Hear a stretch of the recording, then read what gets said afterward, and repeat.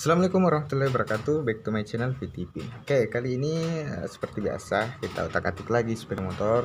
Aku bakalan servis berkala Bak CVT Di mana bak CVT ini Sudah mulai terdengar suara kasar ya di dalamnya. Nah eh, kita bakalan bongkar Kita lihat apa-apa saja. Adakah komponen yang aus Atau seperti apa? Ya Kita cek dulu. Langsung saja kita bongkar Oke, siapkan kunci 10 dengan kunci T8. Oke,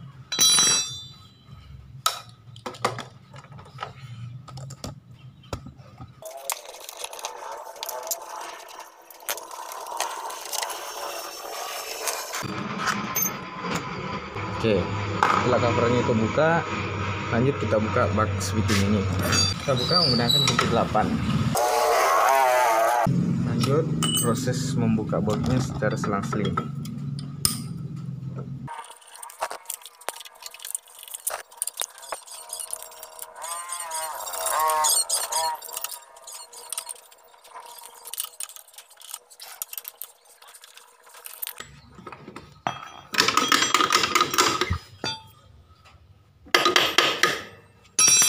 setelah dirasa botnya kebuka semua selanjut kita lepas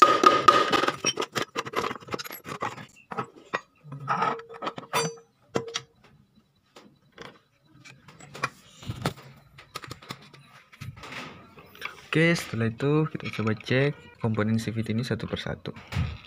Mulai dari fumble kita cek kondisi fisiknya retak atau tidak masih aman. Lanjut lahar juga masih aman.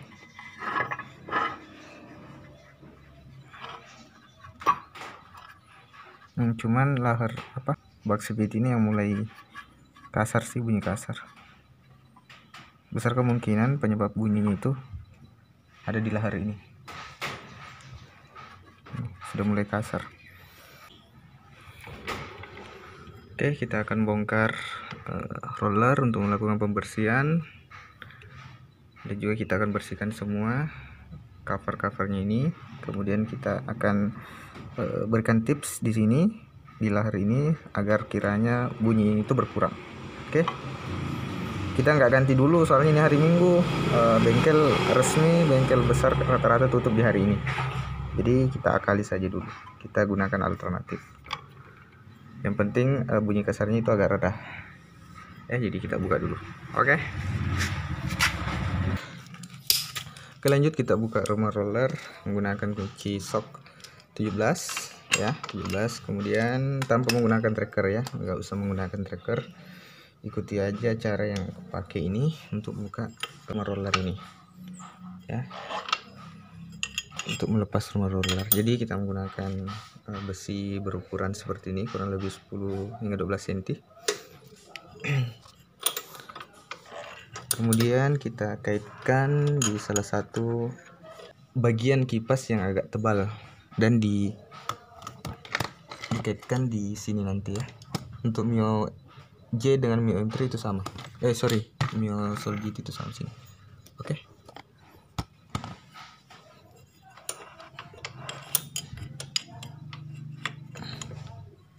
oke kurang lebih seperti ini.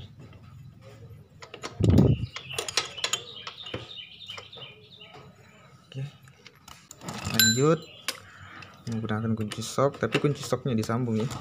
Sambung dengan pipa supaya tekanannya lebih besar walaupun tekanan yang diberikan tidak seberapa sih tapi otomatis kalau gagangnya panjang kan lebih ini lebih maksimal. Oke jadi kita putar. Bismillah. Anak sudah putar jadi tanpa menggunakan trigger sih sebenarnya bisa kok. Penting kita tahu caranya aja. Ya, setelah itu lepas. Oke buka fumble-nya. Oke masih aman fumble masih aman. Terus uh panas. Waduh. cuma roller. Aduh, duh, duh, panas panas banget. Ya oke. Okay.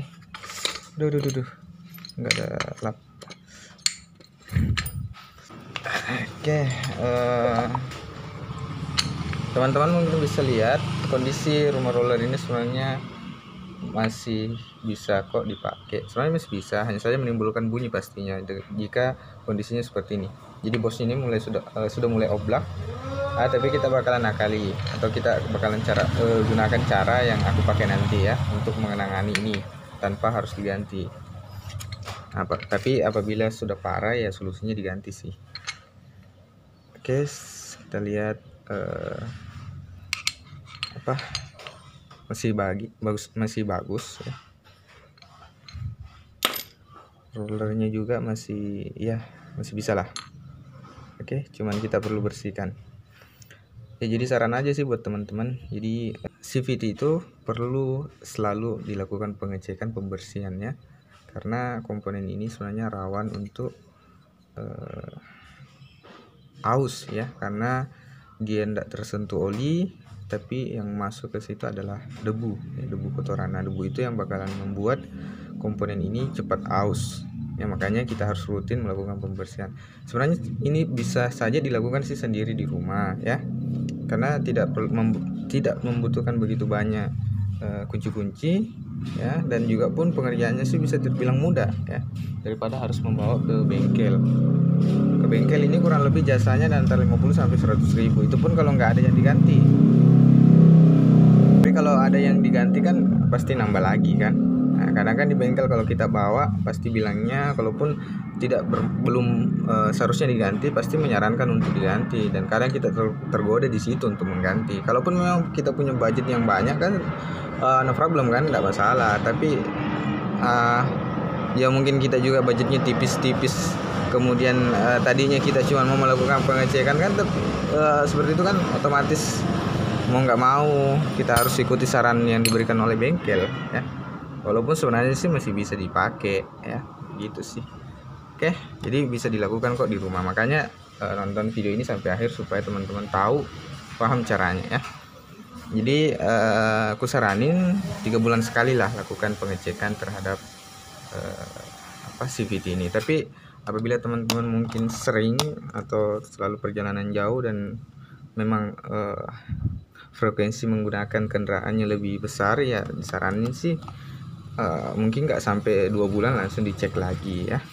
Supaya komponennya juga awet dan kita nggak bakalan sering ganti komponen CVT ya. Oke seperti itu. Kita lanjut uh, membersihkan komponen-komponen ini. Setelah dibersihkan uh, dibenahi yang perlu dibenahi dan kemudian kita pasang kembali Oke lanjut kita bersihkan. Ini aku sudah siapin bensinnya. Kita pakai pertalite karena premium sudah nggak ada sih. Oke setelah itu tuangkan secukupnya saja seperlunya nggak usah berlebihan. Ya uh, masukkan. Oke kita bersihkan.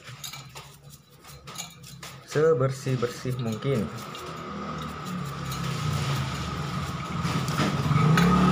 aku juga mau saranin nih buat teman-teman semua. Jadi lakukan seperti ini ya kita harus memang totalitas. Maksudnya gimana? Jika kita membersihkan ya betul-betul dibersihkan lah ya. Walaupun mungkin itu bukan unit kita pribadi ya yang namanya juga mungkin pekerjaan kan. Apalagi memang kalau itu uh, unit kita pribadi kan ya harus totalitas. Dan jangan memandang hal tersebut lah uh, mau itu punya kita barang kita ataupun barang orang lain ya kita harus totalitas ya. Karena kadang juga memang banyak tidak uh, semua tapi ada beberapa bengkel-bengkel yang uh, mengerjakan hal tersebut membersihkan contohnya yang tidak totalitas ya hanya setengah-tengah saja. Mungkin cukup dengan mencelupkan ke bensin terus diangkat tanpa dikuas misalnya itu kan enggak totalitas yang seperti itu. Ya, tapi kalau memang seperti ini kan uh, sudah digosok seperti ini kita sudah artinya betul-betul mencoba untuk membersihkan tapi tersisa bekas-bekas seperti ini kan itu masih bisa ditolerir apalagi CVT ya, merupakan komponen yang penting juga buat motor metik ya. Tanpa komponen CVT ya motor nggak bakalan untuk motor metik ya nggak bakalan bisa dioperasikan sih karena penghubung antara mesin dengan roda ban kan adalah komponen CVT ya, di mana di dalamnya termasuk roller dengan rumah roller kampas ganda mangkok ganda termasuk fumble ya. dan kemudian pula kita harus tahu bahwasanya eh, bagian ini enggak memakai oli berarti lebih sering kotor ya berarti sering kita harus rutin membersihkan. Karena otomatis kotoran-kotoran ini yang bakalan membuat komponen itu cepat aus. Oh boleh pak. Saya ini juga tadi iya kebetulan tadi bunyi-bunyi kasar bilang kayu mau lagi dibersihkan ini iya pak. Kebetulan memang ini pembelinya sudah agak beberapa bulan sih. Lagi anu ini enggak apa-apa ji. Lagi bikin vlog.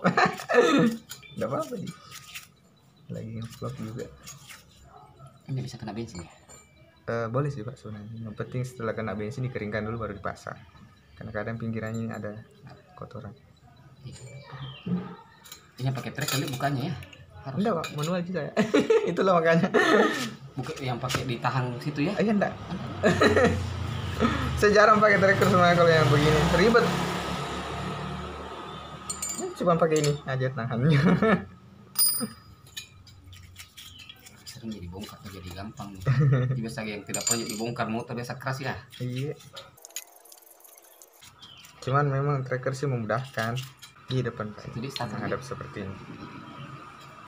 Memang seperti ini rutin harus di dicek dibersihkan. Saya nunggu depan Iya. Ada tuh minggu depan Insya Allah pak. Di sini. Saya kerja bakti. Oh mau kerja bakti orang? Ada juga anu pantau oh. Ada yang mewakili mawar pantau aduh aku lupa ya. tadi padahal aku dengar di pengumumannya baru saya nggak bangun juga. Empat rumah roller ya? Rumah roller roller pak. Ini kalau di masuk di bengkel tuh enggak gini ya? Ya? Kalau kita bawa masuk ke bengkel terus pindah sampai bersihkan itu padahal kan dia iya kompresor dia iya pak betul sebenarnya begitu. kompresor paling kompresor gitu. atau sekali penggantian ya Iya biasanya kalau seperti ini sebenarnya dia sarankan untuk ganti mie yang begini. Iya, tidak ada perawatan kita kalau servis ringan palingan itu. Cek apa yang Iya. injeksinya ya, pakai ini ya, Iya. pakai komputer itu, cek itu. Kalau biasanya mereka bongkar yang begini pasti ada yang diganti, disarankan untuk untuk diganti. Jadi perawatan gini tidak ada saya lihat tidak pernah. Iya karena mungkin perhitungannya rugi bongkarnya tuh Hmm, kalau cuma bongkar kemudian iya. Jadi mending ada dia ganti begitu. Mungkin salah satunya disarankan atau bahkan sepaket. Biasanya begitu sih. Saya ganti deh, saya suruh cek dulu. Lama lah itu motor metik saya pernah. Oli sih oli jangan sih.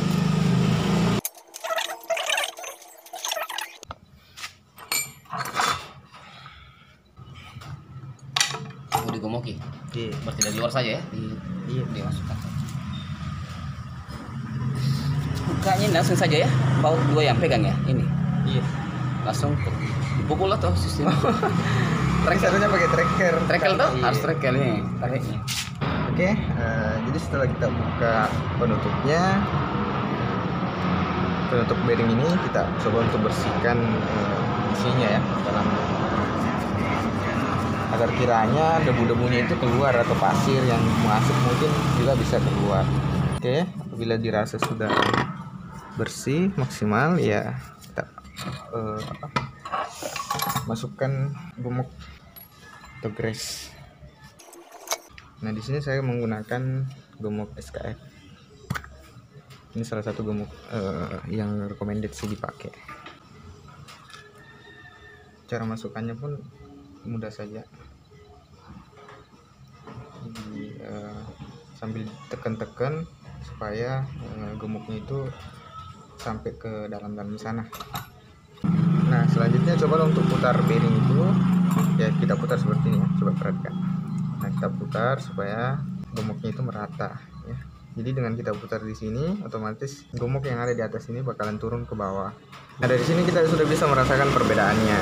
Setelah kita beri gemuk seperti ini eh, yang kadang nyangkut itu kotoran-kotoran mungkin sebelumnya itu mulai menghilang.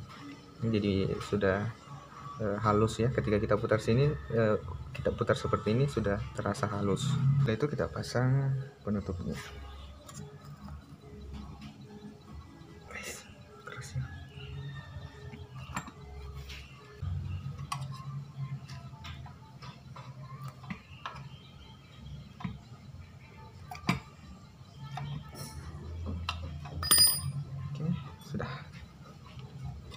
sekarang kita sudah bisa pasang. Oke okay, next uh, kita beri juga gemuk di bagian ini.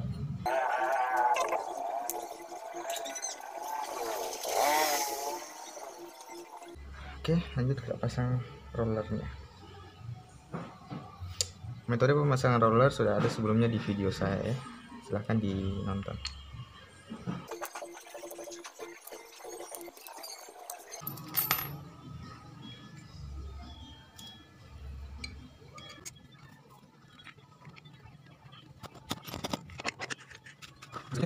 pemasangan frame jangan sampai kebalik ya ini.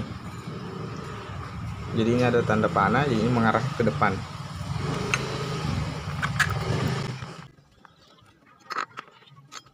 Nah ini juga kadang orang keliru masangnya ya. E, jadi cukup ditandai dengan ini tanda ini ini yang berada di luar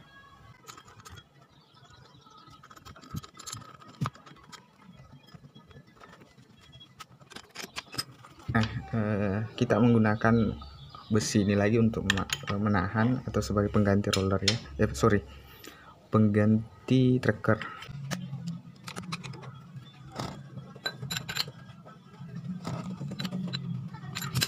Oke nggak usah terlalu kencang nanti jebol.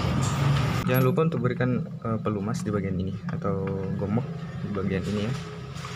Jadi di bagian ini jangan lupa diberi odi atau pelumas fungsinya apa buat uh, ketika kita seter kaki itu enggak enggak seret ya atau macet